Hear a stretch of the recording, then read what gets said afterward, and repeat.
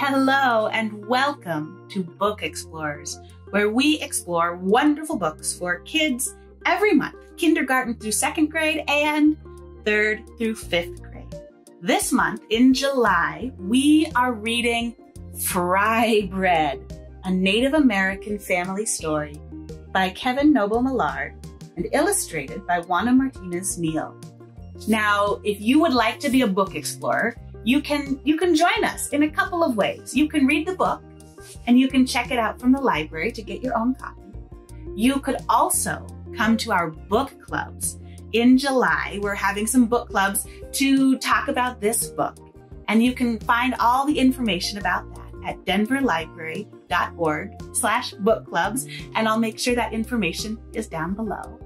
And if you're watching this in July, you can come to your local library branch and you can ask for a take home kit that will have modeling clay in it and it will have a copy of this book in it. And those are free while supplies last. And then on top of all of that, we are going to have some clay workshops that you can you can come to with your clay and those will be online as well. And you can find that information online as well. And again, I'll put all those links down below.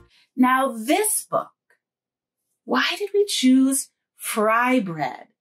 Now, this is a book about the food fry bread, which is a food that is important to Native Americans' history and culture and families today. And the reason I love this book is that it feels like you're getting a really wonderful hug from a family member when you read this book. You know that feeling where when you're with your family and, you know, not everything is going right. Maybe there's some things going wrong or maybe there's some things that are hard in your life, but you get a hug from a family member and everything feels like, okay, all right, we can get through this. That's the feeling I get from this book. I love the illustrations in this book. They show all kinds of different Native American families. And Kevin Noble Maillard, the author of this book, has said that some of the families in this book are modeled after his own family, are modeled after him and his kids. So that's kind of fun. Lots of families, lots of pictures in this book. There's lots of beautiful language in this book. The words in this book are warm and welcoming and comforting. So I like this book for that reason too.